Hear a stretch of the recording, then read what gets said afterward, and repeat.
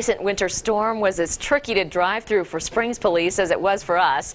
Several officers say making it up steep hills was difficult, if not impossible. KRDO News Channel 13, Scott Harrison is live at one of those hills tonight that gave drivers trouble last night.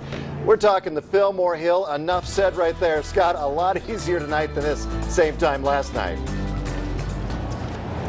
Yeah, JJ, as you said, just say the Fillmore Street Hill. That's enough said. People know what you mean when that happens and the snow starts coming down. Now, Springs Police, fortunately, have a variety of vehicles in their fleet, so they don't have to rely on just one vehicle when the wintry weather comes. And earlier today, we got a look at the fleet. Most of the police fleet consists of older rear-wheel drive vehicles that need chains for traction.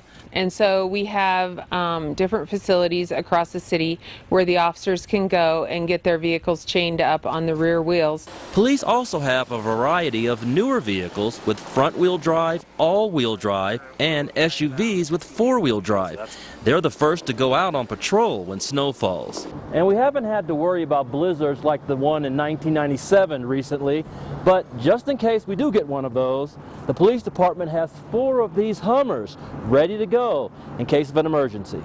But don't expect the Hummers to replace the entire fleet.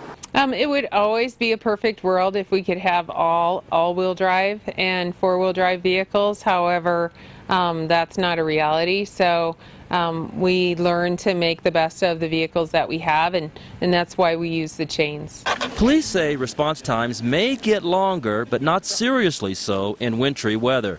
Police say many of their weather related calls are responding to traffic accidents, so we can make it easier for them and us by slowing down.